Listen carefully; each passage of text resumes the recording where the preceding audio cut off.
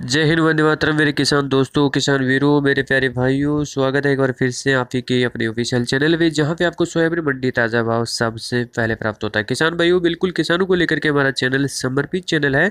यहाँ पे आपको किसानों से संबंधित हर लेटेस्ट अपडेट प्राप्त होता रहेगा। किसान भाइयों, सोयाबीन का आने वाले एक महीने के अंदर आपका कैसा भाव रह सकता है? पिछला एक महीने कैसा भाव देखने को मिला है? अभी करंट में क्या ताज़ा भाव चल रहा है? पिछले सप्ताह कैसा भाव देखने को मिला है? और आने वाले दिनों के अंदर आपका कैसा भाव रहेगा?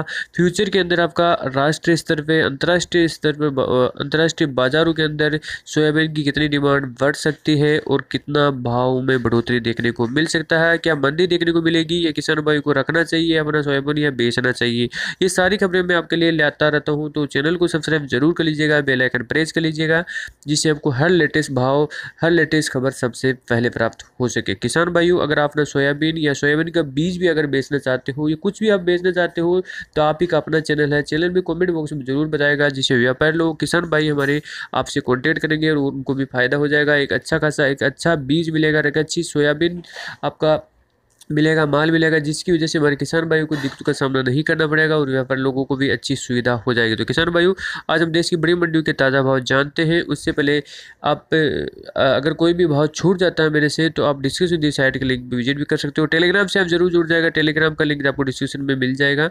तो किसान भाई देख लेते हैं, सबसे पहले हम चलते हैं महाराष्ट्र की बड़ी मंडियों के ताज़ा भाव जान लेते हैं। महाराष्ट्र की आपकी बारामती मंडी के अंदर आपका छः हज़ार पाँच सौ रुपये प्रति कुटल भाव देखने को मिला है। वही बोकार के अंदर आपका भाव है वो छः हज़ार छः सौ रुपये प्रति कुटल चाकुर के अंदर छः हज़ार आठ सौ इकहत्तर रुपये प्रति कुटल और गंगा खेड़ के अंदर आपका सात हज़ार चार सौ रुपये, झालाने में आपका सात हज़ार रुपये, कालम में आपका छः हज़ार सात सौ रुपये और करजाना के के अंदर आपका सात हज़ार चार सौ पैंसठ रुपये, कटोल में सात हज़ार दो सौ ग्यारह रुपये, लातूर के अंदर सात हज़ार दो सौ नब्बे रुपये, मालेगांव के अंदर सात हज़ार चार सौ रुपये, मानथा के अंदर छः हज़ार आठ सौ रुपये फारतूर के अंदर आपका सात हज़ार एक सौ रुपये और फारथरी के अंदर आपका भाव छः हज़ार छः सौ रुपये, राजपुर राजूरा के अंदर आपका छः हज़ार दो सौ पैंतालीस रुपये, सेनगांव में आपका सात हज़ार दो सौ रुपये, सिंधी के अंदर आपका सात हज़ार दो सौ रुपये, उम्रखेड़ के अंदर चार हज़ार आठ सौ रुपये, वर्धा के अंदर आपका छः हज़ार छः सौ रुपये, वसीम में आपका सात हज़ार तीन सौ पचास रुपये प्रति कुटल भाव देखने को मिला है। मध्य प्रदेश की बड़ी मंडी की बात करें, सोयाबीन का तो नीमच मंडी में सात हज़ार सात सौ दस रुपये, अलोट के अंदर छः हज़ार छः सौ रुपये, बरड़ के अंदर आपका सात हज़ार दो सौ रुपये झब्बा में अंदर सात हज़ार एक सौ तीस रुपये नीमच के अंदर आपका